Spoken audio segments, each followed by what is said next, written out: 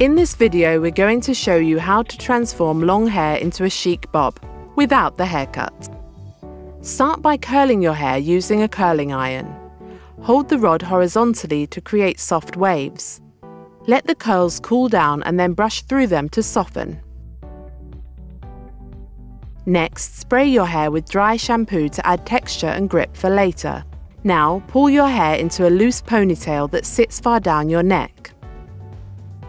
Fold your ponytail in towards your neck and secure with clips. Add several clips along your hairline to create the illusion of a bob. Add extra hold and tweak the look with hair grips. Finish with hairspray and loosen some strands around your face.